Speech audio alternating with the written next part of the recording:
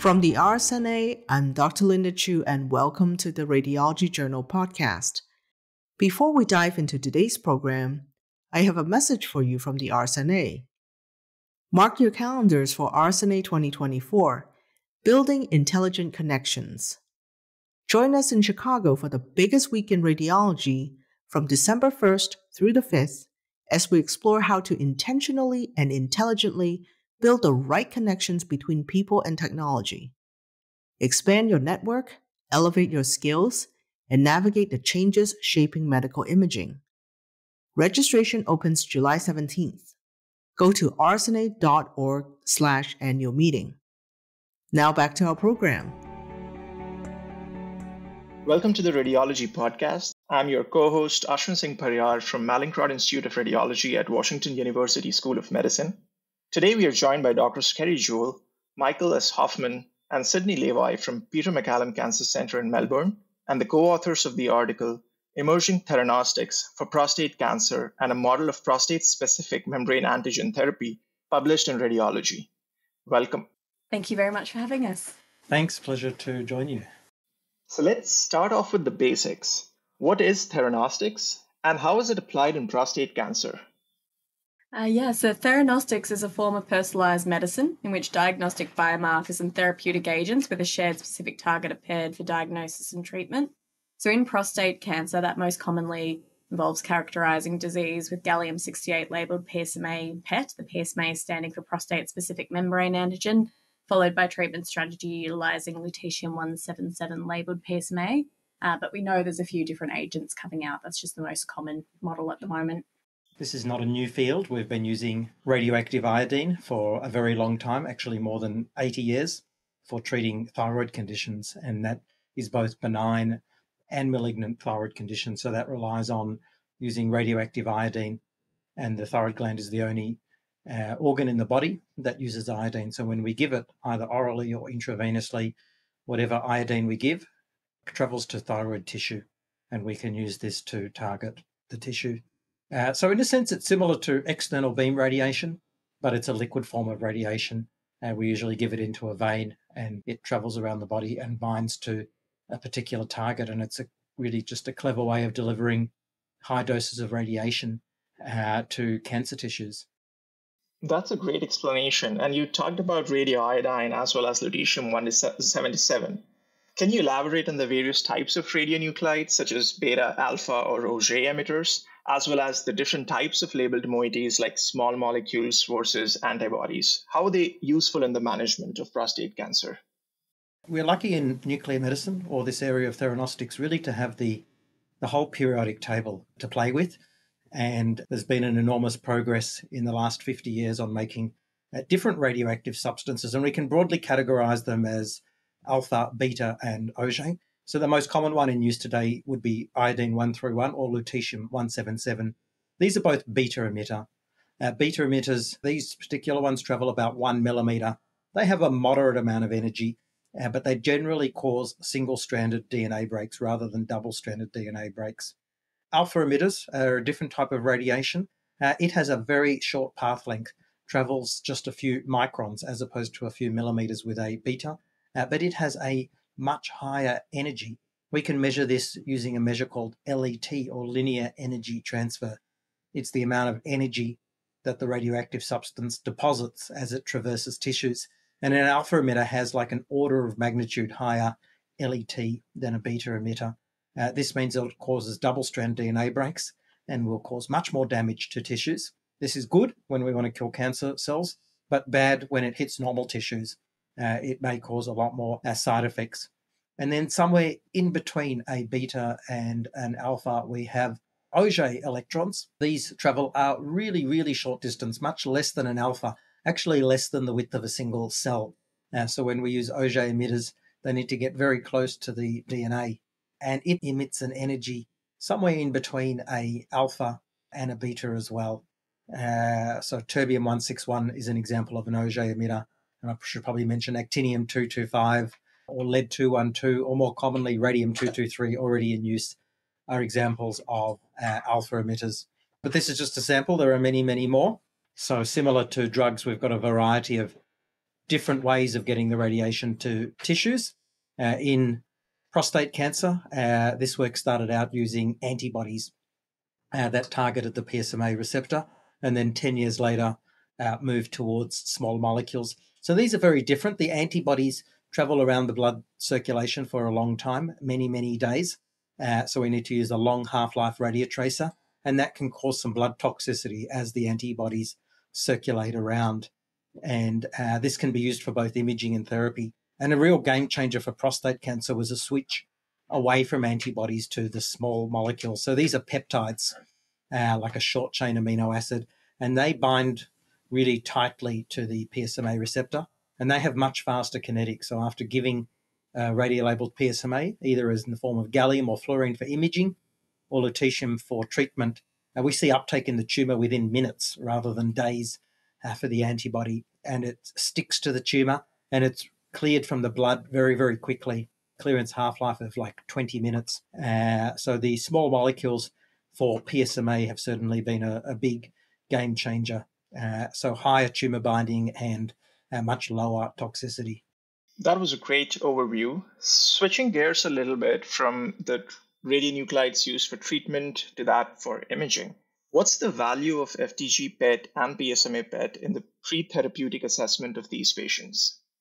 When we see patients in our clinic, we think about three domains uh, for their assessment. So, how they're travelling clinically, how they're travelling biochemically in terms of their PSA doubling time often, and then imaging is the third arm. In our centre, we're fortunate to be able to characterise patients' baseline disease with both PSMA PET and FDG PET.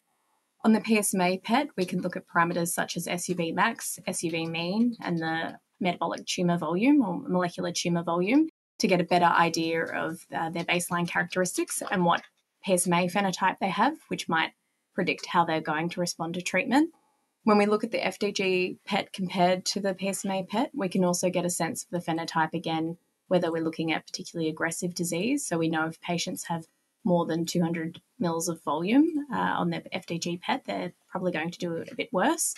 And those parameters together help us start off treatment with a fairly good idea of, of the patient that we're seeing in front of us. In the context of current reimbursement issues with getting two concurrent PET studies, especially here in the United States, are there any specific clinical scenarios in which both these modalities would be necessary? Yeah, I think when we see patients in clinic, uh, particularly if they've got low PSMA expression, or if we can see disease on anatomic imaging, particularly intra-abdominal nodes or pelvic nodes that aren't taking up PSMA, or maybe bony lesions that are not taking up PSMA, that's a particularly important uh, situation where an FDG PET might reveal some discordant disease, which might affect their ability to receive lutetium. But it really is a, a tricky area because prostate cancer likes spreading to bone, and a lot of the discordant FDG positive PSMA negative lesions we see are in bone. And if you don't do the FDG, you're just blind to it. And there's really no trigger uh, to identify that. Uh, so I know there's reticence to performing two scans, particularly if it's not reimbursed. But our experience doing this for sort of almost 10 years is that the FDG is, is very useful and the treatment's very expensive. So we're a big fan of doing both. And I think it's actually hard to have a, a particular trigger. And, uh, you know, this is not new. I mean, normally we do a CT scan and a bone scan, so that's already two scans and often two hospital visits. I'm trying to develop the research and encourage everyone to uh, do an FDG as well. And going back to the baseline PSMA PET imaging, what are the specific qualitative or semi quantitative thresholds on the baseline PSMA PET that are typically required for eligibility of PSMA targeted therapy? So in our centre, we use an SUV max of 15 as our threshold for eligibility. We're also looking at the SUV mean, and we know for both of those parameters, higher is better, and we're more likely to derive a good response. Uh, we also, again, are looking at the FDG PET to make sure that there's no unequivocal discordance. The only caveat to that would be if we receive a referral for a patient who has significant bony pain from their metastatic disease and then that might be a consideration even if the imaging phenotype is is not ideal yeah so i think just adding you know the responses to lutetium psma vary not everyone responds to the treatment and the best uh, prognostic or predictive biomarker we seem to have today is the intensity of psma uptake So, as the intensity of PSMA uptake increases on your PET scan, so does the delivery of radiation with the lutetium 177. And you can even look at that qualitatively. If your uptake's above parotid gland, which is a physiologic high site, you're going to do better than if you have a lower uptake. And if your uptake is below liver, you're extremely unlikely to benefit. And, you know, those are patients that should not have uh, lutetium therapy. Those are some great insights. Could you also elaborate on the sequencing of PSMA targeted radiopharmaceutical therapy with cabazitaxel? And specifically, are most of your patients that you see in your clinic pre or post cabazitaxel uh, during the clinical course? Yeah, we receive a mix of patients, and when we're speaking about these patients in the equivalent of a tumour board, our multidisciplinary meeting, we often categorise them as being either pre or post cabazitaxel to give us a better sense of where they're up to in their treatment paradigm. Uh, I think, again, the PET, paired PET imaging is very useful when we're looking at the sequencing. So, potentially, if patients are displaying a less favourable phenotype on their paired imaging, that might push our multidisciplinary meeting to be thinking that cabazitaxel might be a good option prior to lutetium. Uh, conversely, if we see really high PSMA uptake uh, with a really high SUV mean, that might push us to think that lutetium is going to be better sequencing. But we receive a mix. Switching gears from pre therapy baseline PET CT to post therapy imaging. Why is post therapy SPECT CT important? And in your center, is this routinely obtained? And what benefits do you typically see? Yeah, so we do post therapy SPECT CT routinely uh, after every treatment. However, you know, other centers, particularly in other countries like the USA, may be different. In the phase three vision trial, many patients did not have any post therapy imaging as so, why do we do post therapy imaging? One, it's basically a free PSMA PET scan after each cycle of treatment. We can image the lutetium that we've given a few hours before. In addition to emitting the beta rays that have the therapeutic effect, lutetium 177 also emits a gamma, which is, let's say, similar to technetium. So then we can image it and we get very good quality images with SPECT CT. Means after every cycle, we can uh, see what the uh, is, whether the patient's responding or progressing. Uh, this enables us to stop treatment if it's not working, and sometimes stop treatment if there's been a complete response. Uh, so it can change patient management. It's also very good for the patients to be able to see their responses. Patients love looking at their post treatment imaging. Another benefit is we can do dosimetry from that. We can actually calculate the amount of radiation that was delivered to both normal tissues and tumor tissues. Uh, you know, that's more of a research indication, but it enables us to sort of look at this as a biomarker and maybe in the future adapt the treatment and uh, even change the dose in the future to a better personalized treatment. So, a lot of utility from our post treatment SPECT CT. I think it's worth mentioning as well that we not infrequently pick up some incidental findings on our post therapy imaging, which helps lead to more probably nuanced, better care for patients. So things like um, obstructive uh, uropathies, bony fractures, bowel obstructions, spinal cord encroachment, or maybe acute pulmonary pathology. Uh, by seeing that the next day after treatment, even if a patient's not symptomatic, we can liaise with the multidisciplinary team to get them timely care. Those are some great points, and especially the patient's ability to visualize their treatment going the right way. It's really reassuring for them. So, where do you see the future of PSMA theranostics in the upcoming years? Oh, I think it's an exciting time uh, for someone like myself who's just starting out uh, the research journey. I'm a first year PhD candidate in the ProsTIC uh, Centre of Excellence here at Peter Mac. I think we've got many new radioisotopes and radiopharmaceuticals to screen, uh, combination therapies and working out what works, what doesn't, uh, the sequencing of those therapies, uh, and the goal of providing um, better overall survival uh, progression free survival uh, and patient selection are some, some themes that I was thinking about. And I think also equality of access. So for me, ensuring that patients from regional and rural backgrounds uh, are able to receive care ideally locally, I think that will be a focus as well over the coming years.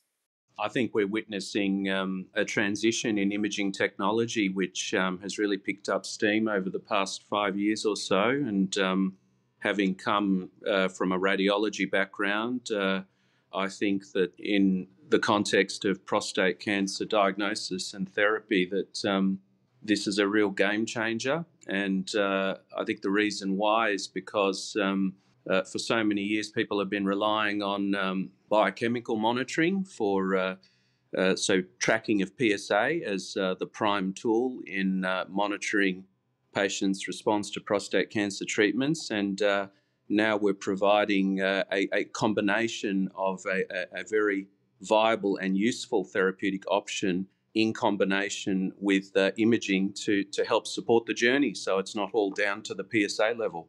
So, yeah, I think it's very exciting. And it's why I am involved.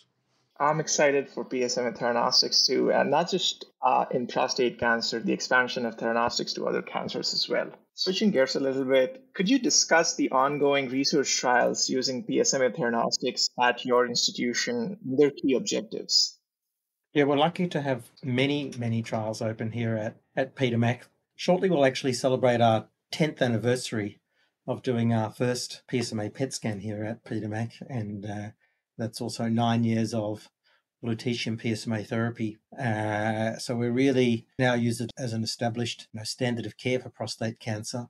And that is in the vision or therapy trial like indication, which is uh, in patients who have had taxane chemotherapy and an androgen receptor pathway inhibitor.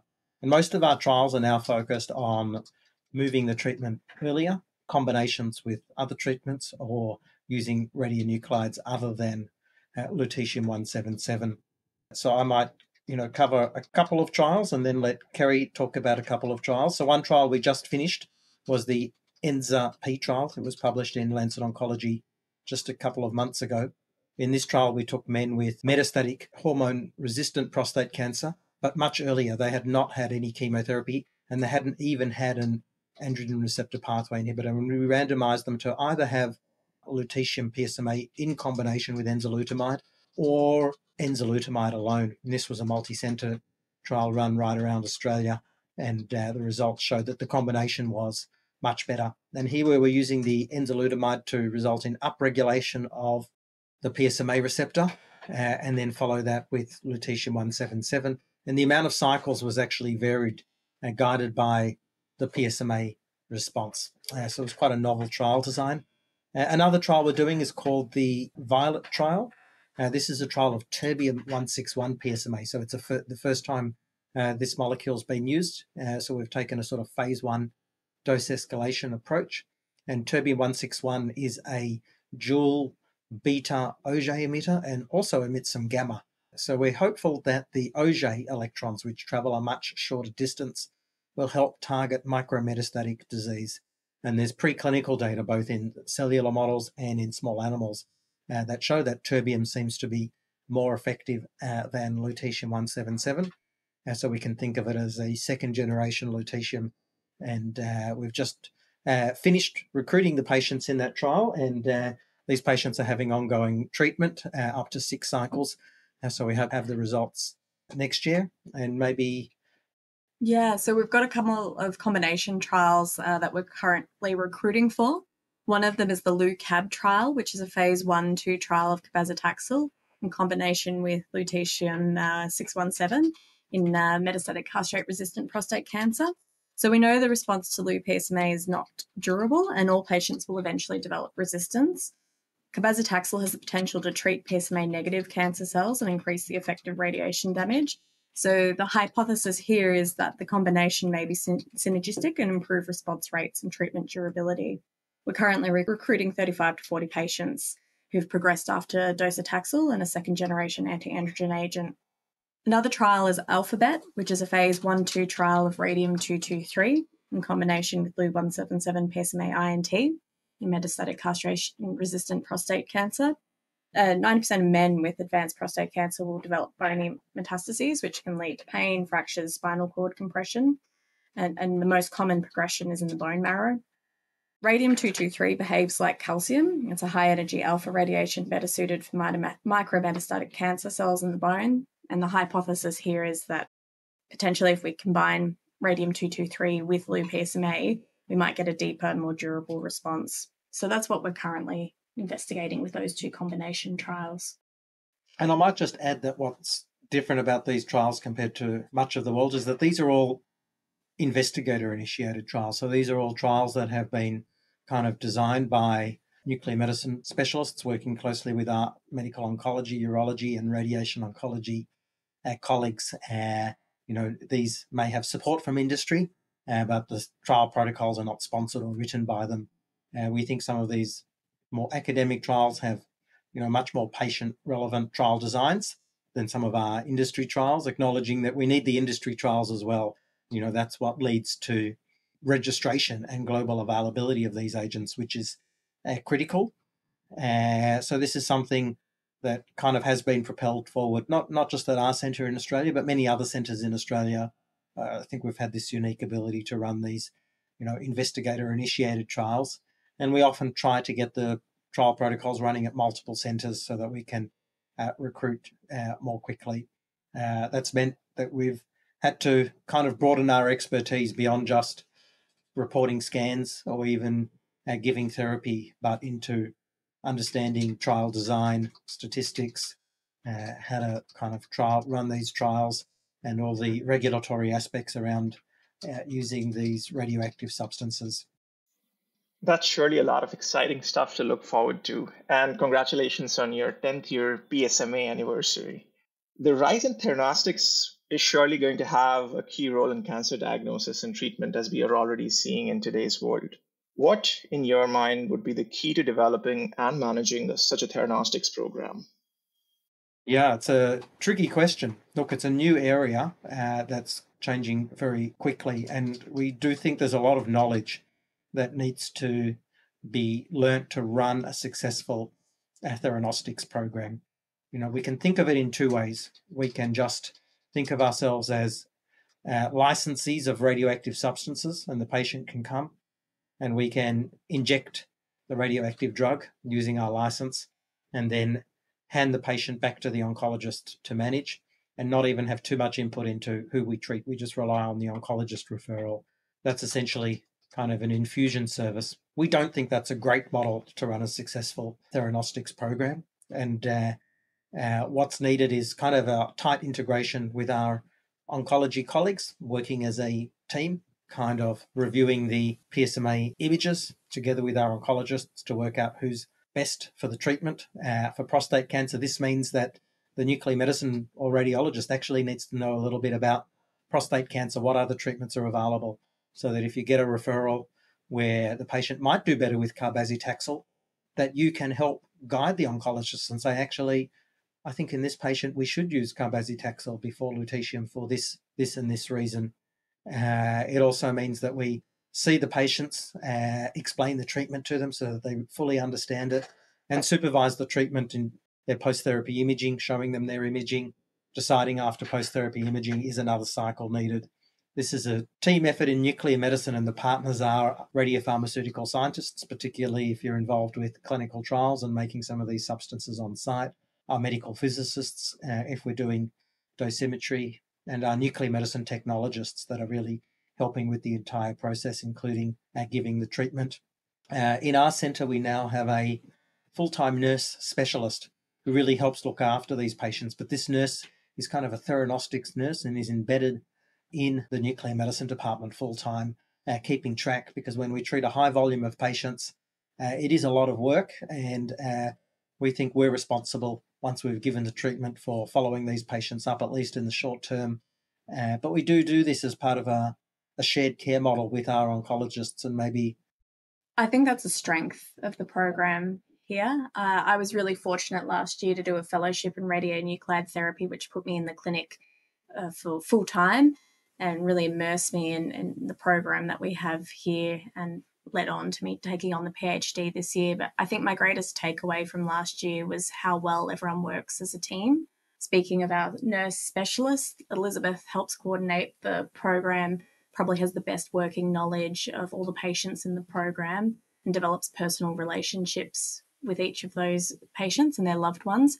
And that's knowledge that can be then shared with the rest of the team. We have many different doctors working in our clinic.